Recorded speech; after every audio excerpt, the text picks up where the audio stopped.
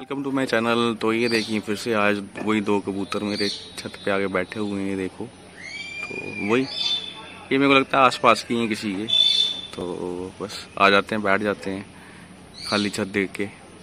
तो कल भी मैंने इनको ना पकड़ा, ना कुछ, ये बस बैठे हुए हैं एंजॉय कर रहे हैं। देखो कैसे खुद आ रहे हैं, ऐसे एंजॉय कर रहे हैं, जैसे पता नहीं कहीं अपना ही घर है ये।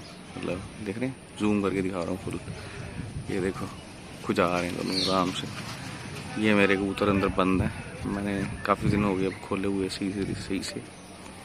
तो ये मौसम अभी ज़बरदस्त मस्त मौसम बना हुआ है। तो ये छोटी सी क्लिप थी, मैंने सोचा आपसे शेयर करता हूँ।